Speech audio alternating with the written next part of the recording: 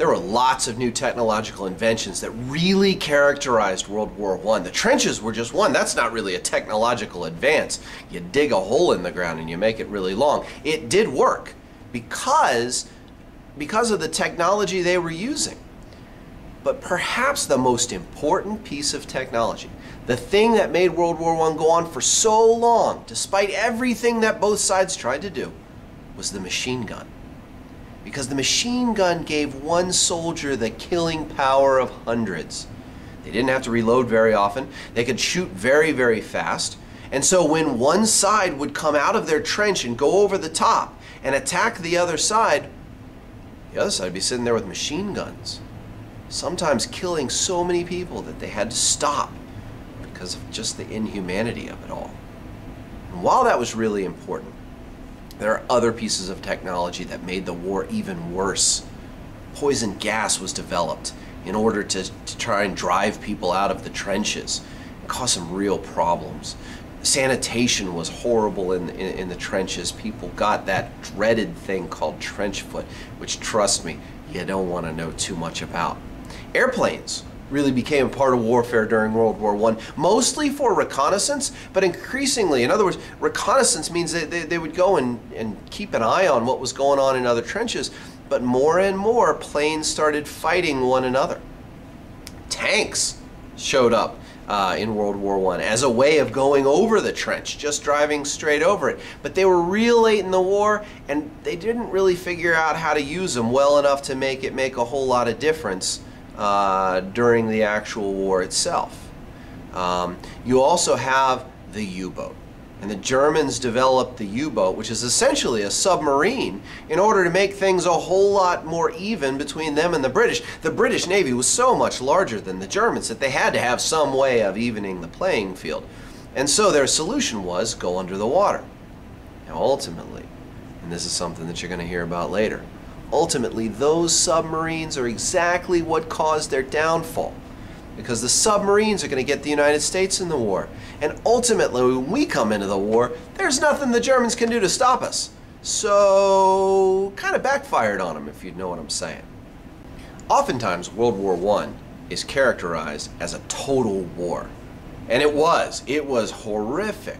The total war had really a couple different things, but the first one's what I want to talk about now because it wasn't just fought in Europe.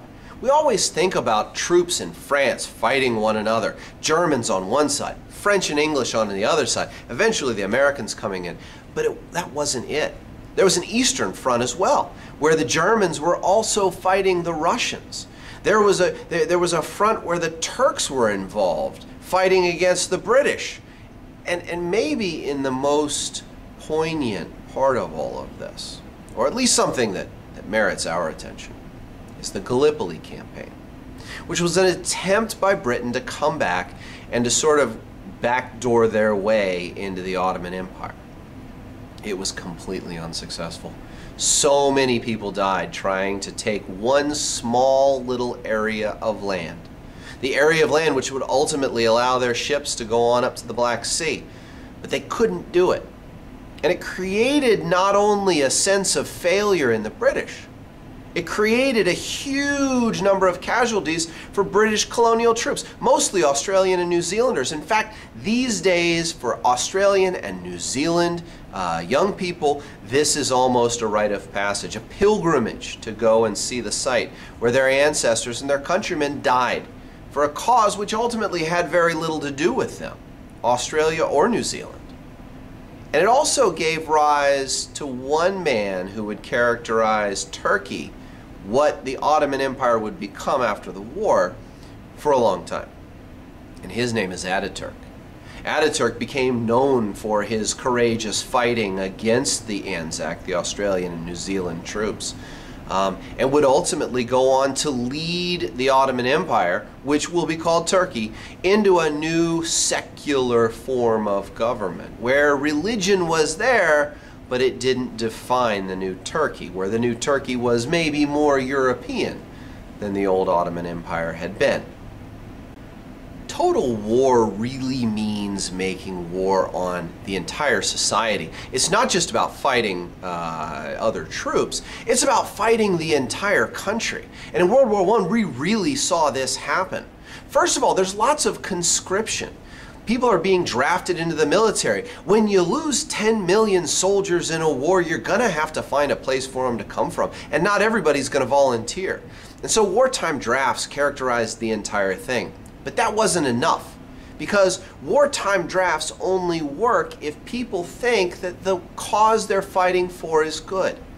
And so the governments in all the countries involved in the First World War engaged in propaganda efforts propaganda efforts that really had a couple of aims. Number one was to make the enemy seem as inhuman and as horrific as possible, turning them into almost animal like people. And we see a lot of animal type depictions of cruelty on the part of the Germans and cruelty on the part of the British. It, cruelty everywhere, really, is what it is.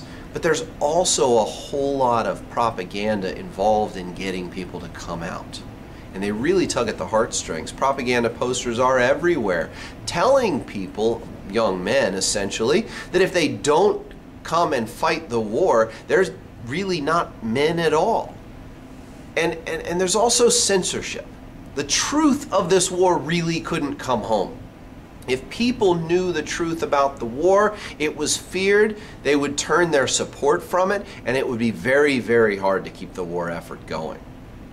Now, another thing they did in Total War was to attack civilian populations. Early in the war, the Germans used Zeppelins, these big, huge airships, to bomb London. And it was sort of a preview of what might come a few years later if there was going to be, let's say, maybe a second one of these things. Um, and, and, and it wasn't very pretty economic production was completely about the war. I mean, with the war going on, every single resource of the countries had to be focused on fighting the war. That means making stuff that people have to ha have to use in the war. That means conserving food so that people in the front had enough food to fight with. I mean, it was a total mobilization of the population. It also meant that women had to go to work because increasingly more and more of the young men who are out there were fighting on the front lines. And there just weren't enough people to work in all the factories making all the stuffs that they needed to fight on the front lines. So they hired women at unprecedented numbers. Now, you'd think that this would mean a major move forward for women. But unfortunately, it was only temporary. When all these guys came back from war, the women went home. They were fired so that they could hire people who'd fought. Both sides, sides also tried to starve out the enemy. They tried to cut off their supplies. The Germans tried to use their U-boats to surround Britain and France and cut off all outside supplies. In fact, that's what brings the United States into the wars, the fact that we're just trying to trade with these people, or at least that's what we were saying, and, and, and, and we kind of get caught up in the war itself. But ultimately, it was the British Navy that was the most successful in starving out the enemy. Things were really, really bad in Germany near the end of the war. And one of the things that the British would use to try and get the Germans to surrender and to agree to the terms of the surrender was threatening a continued blockade and not allowing any supplies into Germany. It was absolutely successful, so it can't be discounted. Now, also, you have a complete centralization of power in all of these countries. The argument was made that in order to fight a massive war like this, a world war, that the government had to control everything. And the people at the time were very willing to give this power over to the governments. And so governments increasingly controlled every aspect of, of, of, the society, from censoring reports about the, about the war effort, to controlling production of goods that were going to go to the war, to rationing food, all kinds of things were seen. Now, while we're not going to really talk about battles or anything like that, there is one that we need to mention. It goes down in history as the Battle of the Somme. Battle of the Somme was the most destructive battle of World War I. The British decided in 1916 that sitting in trenches wasn't going to do anything. And so they said, we are going to try and take these German trenches. Now remember, the Germans have the machine gun. So the British tried to go over the top, as they called it, pulling their men out of trenches, running them across what was known as no man's land, a complete wasteland which had been destroyed by all of the fighting, and to try and get to the German trench and take it. And they figured if they sent enough people over, over a long enough period of time, that the Germans would be overwhelmed. They started with a massive bombardment by their huge guns, which went on for days day and night, constant bombardment, and assured their troops that all the Germans were going to be dead. Well, guess what? It didn't happen that way. The Germans simply burrowed into the ground. They'd already built in areas that had that had houses and, and, and shelters and things like that um, out uh, next to the trenches, and they simply went in there, were protected by the ground. And when the German or when the British bombing stopped, the Germans came out and when the British attacked, it was horrific. The British lost over 400,000 troops trying to take the German trenches. Another 200,000 were lost by, by the French. And while they made some minor advances and may have moved a quarter mile here and a quarter mile there, they were pushed back. But they weren't the only ones who lost troops. The Germans lost over 650,000 troops in the Battle of the Somme putting the death total in soldiers of one battle at over a million people. Think about that. A million people. Ultimately, it was because the leaders on both sides had no alternative. They didn't know how to fight a war with machine guns and tanks and stuff like that. And so they reverted to their old training and tried to overrun the enemy by force. Ultimately, it failed and they wouldn't make that mistake again.